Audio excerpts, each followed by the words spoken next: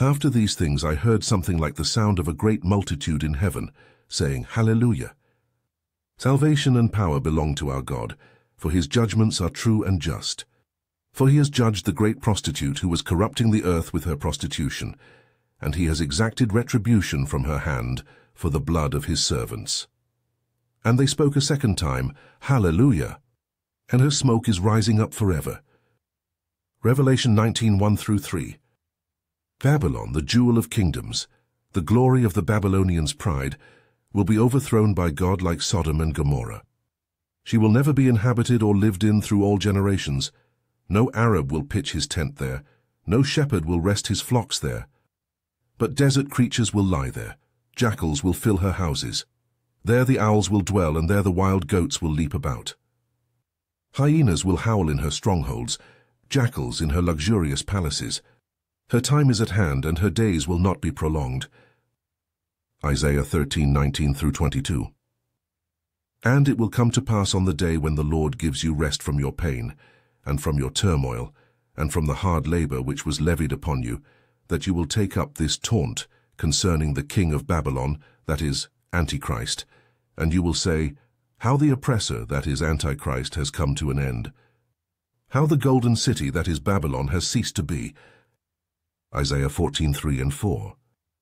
Prepare a place to slaughter his sons for the sins of their forefathers. They are not to rise to inherit the land and cover the earth with their cities. I will rise up against them, declares the Lord Almighty. I will cut off from Babylon her name and survivors, her offspring and descendants, declares the Lord. I will turn her into a place for owls and into swampland. I will sweep her with the broom of destruction, declares the Lord Almighty. Isaiah 14:21 through 23. The ruined city lies desolate.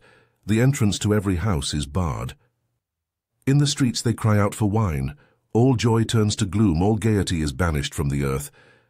The city is left in ruins, its gate is battered to pieces. Isaiah 24:10 through 12. Yet the defenced city shall be desolate, and the habitation forsaken, and left like a wilderness there shall the calf feed, and there shall he lie down, and consume the branches thereof. Isaiah 27:10. Attack the land of Merathaim and those who live in Pekod. Pursue, kill, and completely destroy them, declares the Lord. Do everything I have commanded you. Jeremiah 50:21. Come against her from afar. Break open her granaries, pile her up like heaps of grain. Completely destroy her and leave her no remnant. Jeremiah 50:26. The land trembles and writhes, for the Lord's purposes against Babylon stand, to lay waste the land of Babylon, so that no one will live there. Jeremiah 51:29. For the time will surely come when I will punish the idols of Babylon.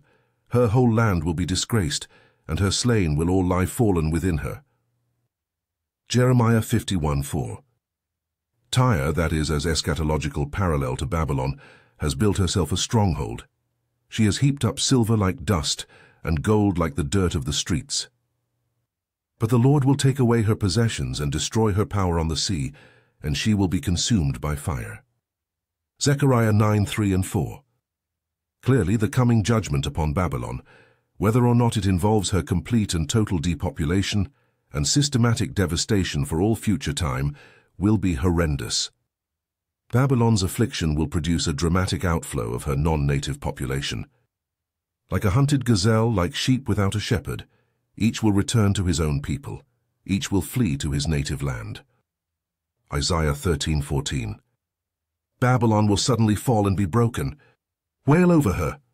Get balm for her pain. Perhaps she can be healed.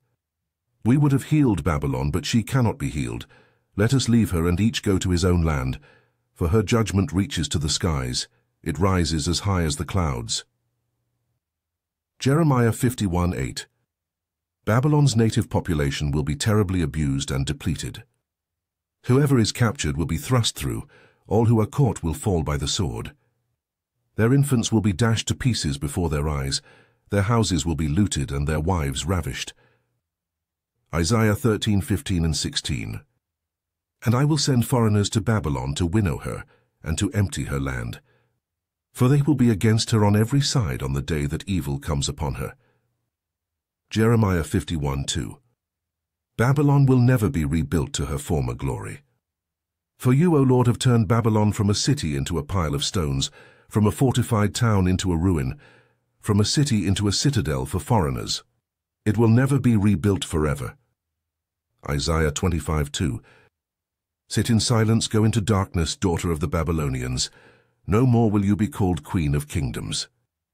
Isaiah 47:5 In many respects, it is a moot point whether the territory of Babylon, devastated by this invasion and its aftermath, will play host to any significant millennial population.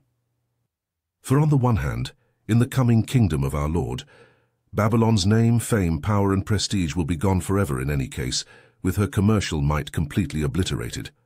And on the other hand, no one in their right mind who with the benefit of Scripture has discerned the signs of the times will forsake the opportunity to flee during this narrow window when the world in general and the population of Babylon in particular wrongly assume that Antichrist's reign of terror has come to end.